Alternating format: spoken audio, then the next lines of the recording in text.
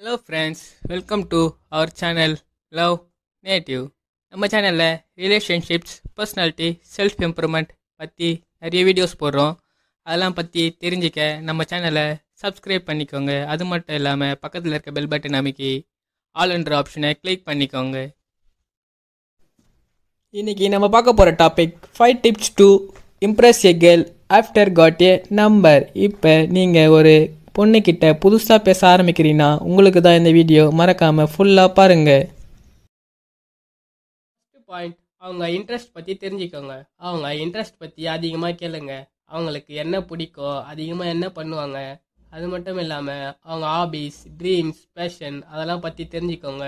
அவங்கள கொஞ்சம் இம்ப்ரூவ்மெண்ட் பண்ண நீங்களே ஹெல்ப் பண்ணுங்கள் அவங்க ஸ்கூல் ஆர் காலேஜ் கேர்ள்ஸாக இருந்தாங்கன்னா அவங்க எடுத்த குரூப் எதனால் எடுத்தீங்க? அதனால் என்ன ஆக போகிறீங்கன்னு கேளுங்க. அதை வச்சு கொஞ்சம் சேட்டை லாங் லாஸ்டிக்காக எடுத்துன்னு போங்க. செகண்ட் பாயிண்ட் ட்ராவல் அவங்களுக்கு ட்ராவல் பண்ண பிடிக்குமான்னு கேளுங்க. ட்ராவல் பிடிச்சா ஏன் பிடிச்சிருக்கு? எங்கே போக பிடிக்கும்? எதில் போக பிடிக்கும்? பைக்கில் போகவா? காரில் போகவா? இல்லை லாங்காக போகவா? இல்லை பக்கத்துலேயே ஃப்ரெண்டு வீட்டுக்கு போவான்னு கேளுங்க.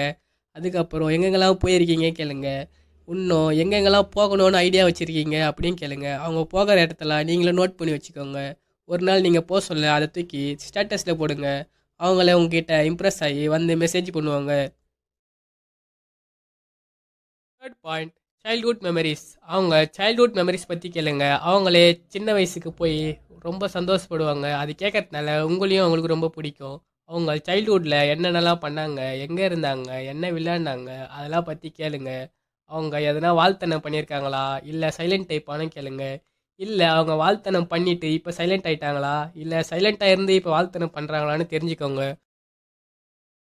ஃபோர்த்து பாயிண்ட் அவங்க ஃபேவரட் திங்ஸ் பற்றி தெரிஞ்சுக்கோங்க. அதனால் அவங்க ஃபேவரட் ஃபுட் பற்றி கேளுங்க. ஃபுட் எதனால் பிடிச்சிருக்கு? அது நிறைய சாப்பிடுவீங்களா? அப்படின்னு கேளுங்க. அப்புறம் அவங்க லக்கி நம்பர் பற்றி கேளுங்க. அது உங்களுக்கு ஏன் லக்கி நம்பராக இருக்குது அதை ஏன் லக்கி நம்பராக வச்சுருக்கீங்கன்னு கேளுங்க. அப்படி அவங்க லக்கி நம்பர்லாம் இல்லை சொன்னாங்கன்னா அவங்களுக்கு நீங்கள் சொல்லுங்கள் நான் உனக்கு லக்கி நம்பர் சொல்கிறேன் உன் டேட் ஆஃப் பர்த்தை கொடுக்கு அப்படின்னு சொல்லி கேளுங்க.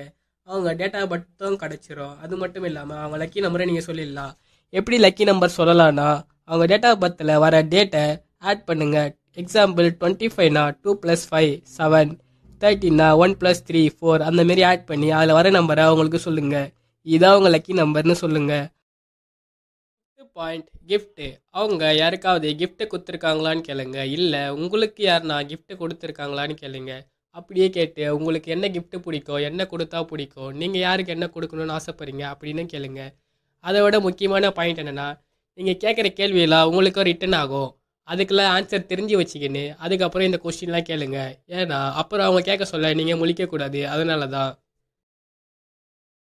இந்த வீடியோ உங்களுக்கு யூஸ் ஆகும்னா இந்த வீடியோக்கு ஒரு லைக் போட்டுட்டு உங்களுக்கு நெக்ஸ்ட் எந்த மாதிரி வீடியோ வேணும்னு கீழே கமெண்ட் பண்ணுங்கள் நம்ம சேனலில் வர வீடியோஸை உடனே உடனே பார்க்க நம்ம சேனலை மறக்காமல் சப்ஸ்கிரைப் பண்ணிக்கோங்க. பக்கத்தில் இருக்க பெல் பட்டனில் ஆல்ன்ற ஆப்ஷனை கிளிக் பண்ணிக்கோங்க.